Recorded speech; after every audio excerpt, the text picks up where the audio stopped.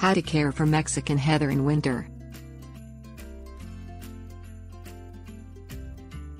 Mexican heather is a lacy plant, also known as artificial heather, with a fern-like texture and tiny white, purple, or pink flowers. The flowers continuously bloom in either partial shade or full sun. Mexican heather is a tender tropical shrub. It is killed by temperatures below 28 degrees Fahrenheit and is considered an annual in most of the United States. The best method of wintering Mexican heather is to root cuttings for spring planting. Propagating cuttings Cut shoots when they can be bent easily and have leaves that range from new growth to mature. July or August will be optimal times for cuttings.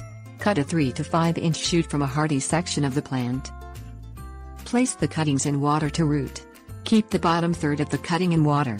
It may help to cover loosely with plastic wrap and secure. This maintains humidity levels for the cuttings. Transfer to a 3 inch pot filled with commercial rooting medium when roots appear in the bottom of the shoot. Rooting medium should be sterile and drain well. Place the rooted cuttings in a well lighted window or use a plant light in the winter months.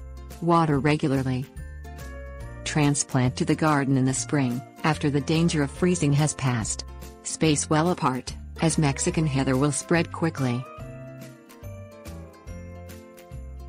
Tips Warnings Mexican heather can be grown indoors in pots, but may get leggy and lose leaves. It requires substantial sun augmented with plant lights. After it has been replanted outdoors in the spring, it can be cut back to encourage bushy regrowth. Mexican heather is an inexpensive annual plant, so is may be more time efficient to purchase new plants each spring.